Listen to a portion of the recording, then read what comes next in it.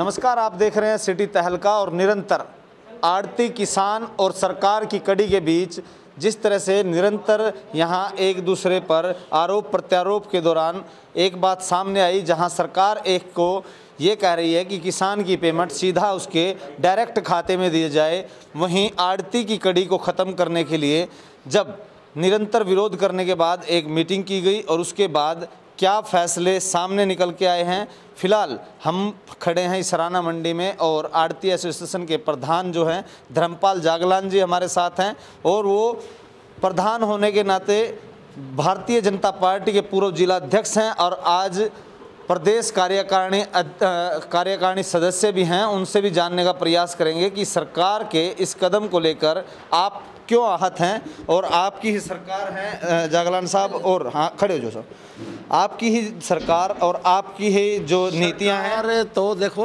जनता की बनाई हुई है, ठीक है हम उसके कार्यकर्ता हैं। लेकिन जनता के, यदि जनहित के खिलाफ कोई फैसला यदि सरकार लेगी तो हम अपना सुझाव तो देंगे ही। जिस तरह यही है मंडी की खरीद के बाबत है। तो मंडी की खरीद जो ना, हम ये चाहते हैं कि जिस तरह पिछले साल या पहले जो खरीद होती थी, वो आढ़ती का और किसान का जो मेल जोल है, आपसी वो यूँ का यूँ बना रहे।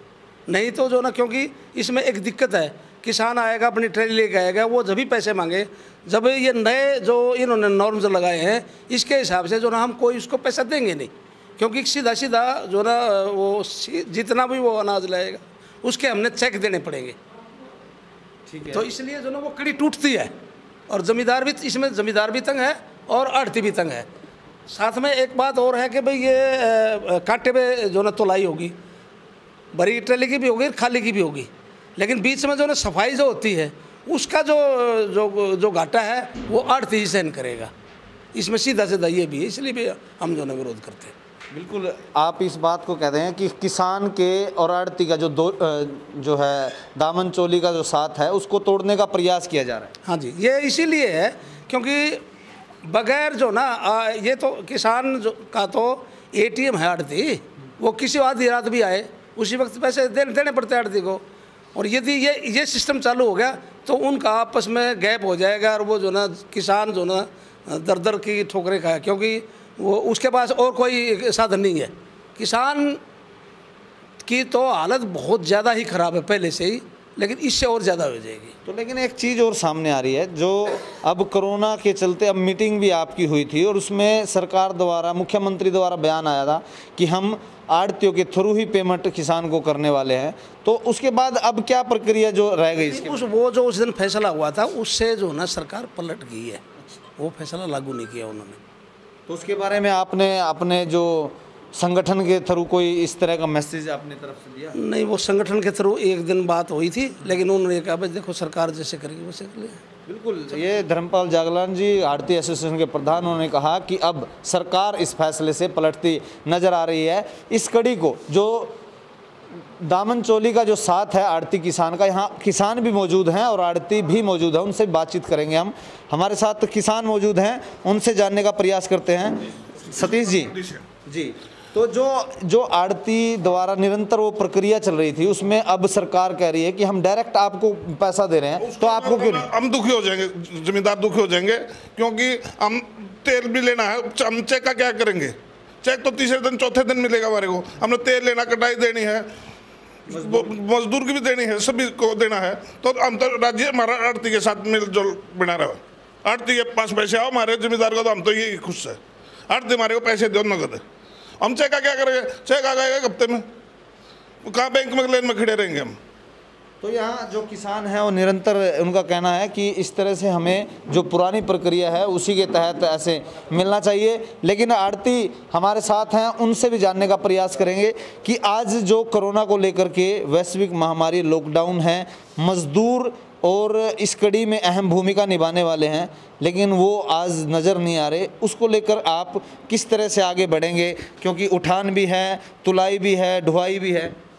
इसके लिए इसके लिए ऐसा है जी, ना तो लेबर की है, लेबर आती है सारी बिहार से, और लेबर सारी गई हुई है से, और उनको हमने पहले एडवांस पेमेंट दी हुई है, लेबर को भी। ना तो हम उसके लिए भी परेशान हैं। और दूसरी सबसे बड़ी समस्या क्या है? भाई फार्मर का। फार्मर को कहते हैं, ये एसएमएस के उससे हम मैसेज देंगे। भाई आपने ट्रैली लेके गानी है।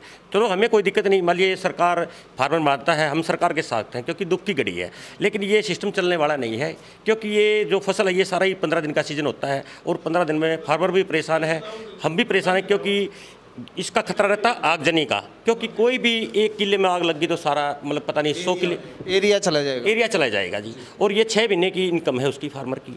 और रही फिर बात सरकार कहती है पैसे ना काटो आप अपने।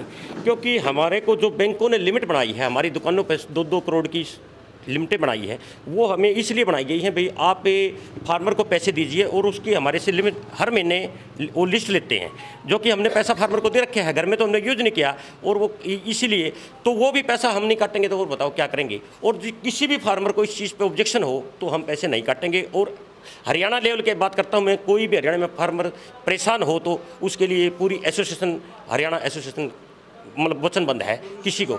और पेमेंट देती है और ना ही हम किसान को परेशान होने देते। एक फार्मर बीमार हो जाता है। रात के टाइम हमारे पास फ़ोन आता है, भाई मेरा, मैं बीमार हूँ। हम हॉस्पिटल में पैसे लेके जाते हैं। हम 24 घंटे का एटीएम है। फार्मर कहने का भाव ये है आपका कि निरंतर कहीं ना कहीं जो बात है किसान द्वारा आज तक शिकायत भी नहीं है लेकिन सरकार फिर भी बदलना चाहती है। सरकार बदलना चाहती है। जब क्योंकि जब सरकार खुश है पूरा पंजाब और हरियाणा ये दोनों स्टेट हैं क्योंकि हमारे किसान के साथ कोई छल कपट नहीं होता क्योंकि आज भी हमारे फार्मर को पता है अगर चौवालीस सौ पच्चीस रुपये सरसों बिक रही है उन्नीस सौ पच्चीस रुपये गेहूँ बिक रहा है क्योंकि ये होता है दूसरी स्टेटों में होता होगा हमारे यहाँ नहीं होता बिल्कुल भी और हम पक्का बिल काट के देते हैं और पक्की पेमेंट देते हैं किसी भी चीज़ में। हमारे सिलरों के अंदर पैसे मरे हैं बहुत ज़्यादा हमारी मंडियों के। अगर आज तक कोई साबित करो किसी आड़ती ने किसी किसान का कोई पैसा रखा हो उसके लिए हम जिम्मेवार हैं। तो अब जो खरीद केंद्र बढ़ाए गए हैं उसको लेकर के क्या व्यवस्था लगती है आपको? खरीद केंद्र बढ़ाने से कुछ नहीं है। मान लिया ठीक है सरकार बढ़ा रही है भाई इससे वो नहीं इकट्ठे हों। लेकिन लेबर नहीं है। मतलब मैं ही हूँ मान लिया मैं कहाँ कहाँ बैठूँगा एक मनी में है मैं किस किस को तनख्वाह दूँगा? और मुझे जब कुछ मिले ही नहीं मैं क्यों धक्के खाऊँगा? और भगवान ना करे कोई हादसा हो जाता है तो कितने में पैसा छुटेगा? एक किसी को, ये किसी को ये तो देखता नहीं भाई, ये गरीब है, ये अमीर है, ये आड़ती है, ये पॉलिटिशियन है, किसी को भी हो सकता है। तो आप भी हमारा इस बारे में सहयोग करें। भाई हम तो ये चाहते हैं नू कानून चले, क्योंकि मान लिया फॉर एग्ज़ाम्पल सरकार कहती है, भाई आपके पास एक ट्रेली आई। मैंने तो ली, फॉर एग्ज़ाम्पल इसकी ट्रेली आ गई, और पैसे इसको चाहिए। ये मेरे को पैसे दे मैं कहाँ से दूँगा? इसको तो मैंने आर करा दिया और मेरे पास कुछ है ही नहीं। जो खाता सरकार खुलवाती है उस खाते में कंडीशन ये है कि भाई उसमें हम पाँच रुपये भी अपने खुद निकलवा नहीं सकते। जिस खाते को सरकार हमारे पास दबाव डाल रही है। तो इसमें आप अब निरंतर इस प्रयास को आगे ले जाएँगे या सरकार की जो इस फैसले पर अडिग रहेंगे और इसको लेकर के क्या कदम उठाया गया इसके लिए कदम ये है कल भी हमारी मीटिंग थी उसकी हरियाणा की। और श्याम को डी साहब के साथ थी। आज भी हमारी मीटिंग है। जो भी हरियाणा लेवल का फैसला होगा, हम उस एसोसिएशन के साथ हैं, क्योंकि उसमें जो मंडी प्रधान फैसला करेंगे, उसके साथ ही। बिल्कुल, आप देख देख पा रहे हैं कि आड़तियों द्वारा निरंतर यह कहा गया कि आज तक कोई शिकायत नहीं है और शिकायत ना आने के बावजूद भी आज सरकार जो है उस फैसले को बदलना चाहती है। इस, इसके पीछे मंशा क्या है?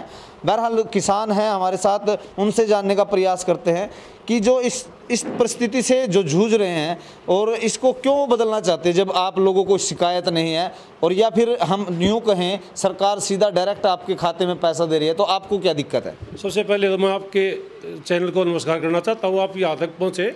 दूसरा क्या है, हम माननीय खट्टर जी से प्रार्थना करते हैं भाई, जब किसान को एक शिकायत है ही नहीं किसान को आड़ती से तो फिर इस चीज़ पर क्यों तुली हुई सरकार? जब किसान ये चाहता है, हमारी पेमेंट पहले की तरह आड़ती माध्यम से आए और हमारा समाज का एक ताना बाना हो, खराब ना हो तो फिर सरकार को इस एलर्जी किस चीज़ की, वो समझ में बात नहीं आ रही। भाई, कोई आज तक कोर्ट में केस बकाया हो, किसी किसान के पैसे आड़ती रख लिए हों, इस तरह कोई मामला नहीं है, किसान यूनियन को लिख कर दे लिया, भाई, हम चाहते हैं पहले की तरह खरीदो लेकिन ये सारा कुछ इस तरह षडयंत्र दिखाई दे रहा है जिससे समाज में आपस में भाईचारा खराब हो जाए। और हम नहीं चाहते, भाई, हमने समाज पहले है, व्यापार बाद में है। आज कोरोना के मामले में सब कुछ टूटा है, लेकिन आपस में से मदद एक दूसरे की कौन कर रहा है? समाज कर रहा है। सामाजिक आदमी जो संपन्न है, वो एक दूसरे आपस में सारा बने हुए हैं, गरीब का। लेकिन सरकार तो कहीं भी दिखाई नहीं दे रही। फिर सरकार इसमें और आगे क्यों खलल पैदा करना चाहती है? हम तो ये अनुरोध करते हैं सरकार से, भाई सरकार का काम तो जनता की सेवा करना होता है, जनता को दुख देना नहीं होता। तो हमारी ये रिक्वेस्ट आपके चैनल के माध्यम से, भाई सरकार को अवगत कराओ। भाई जो पूर्व की बात है ना, अच्छे कार्य आड़ती के पास लेबर नहीं है, कहाँ से ले आएँगे? किसान के पास लेबर की समस्या है, उसके लिए सरकार ने क्या किया है? कोई लेबर की व्यवस्था लेने की नहीं की। कोई इनके रहने की व्यवस्था इनके पास नहीं है। आप चले जाओ मंडी में पीने पानी की व्यवस्था भी नहीं है। दूसरा कह रहे हैं कि यहाँ कैमरे लगेंगे। अरे मजदूरी जो ये लेबर की चौकीदार की ना वो भी आड़ती है बड़े पल्ले से दे रही है। सरकार तो है कहीं नहीं। सरकार तो एक खाम खा खोखड़े वादे करके झूठा सपन दिखा रही है जमींदारों को और आड़तियों को। आप किसान आड़ती हैं? मैं तो मैं किसान हूँ पहले उसके बाद आड़ती भी हूँ। लेकिन ज़्यादातर क्या है जितने आड़ती है वो किसान भी हैं। मैं हाँ। हर चीज़ में हूँ जी। बिल्कुल, लेकिन सरकार कह रही है कि निरंतर जो कांटा होगा, कांटे के बाद सीधा जे फार्म आपको मिलेगा, जो आपकी तोल है, उसमें घटना नहीं चाहिए। तो तो आपको, किसान को तो फ़ायदा है ना उस चीज़ को लेकर के? किसान को तो फ़ायदा हो गया। मान ले एक सौ क्विंटल एक ट्राली आ गई, उसकी पर्ची दे दी जमींदार को। चलो, मैंने पर्ची ले ली अपनी। उसके बाद में उसकी सफ़ाई करेंगे। सफ़ाई में डेढ़ क्विंटल या एक क्विंटल उसमें से कूड़ा करकट निकल गया। निन्यानवे क्विंटल एक क्विंटल कौन भरेगा? इसका जवाब किसके पास है? बताओ जी। लेकिन आखिरी सवाल मैं आपसे पूछना चाहता हूँ कि जो इस प्रक्रिया के तहत कहीं ना कहीं अब यदि सरकार ये इस तरह के फैसले पड़ी रही तो आपका क्या कदम होगा आड़ती किसानों का?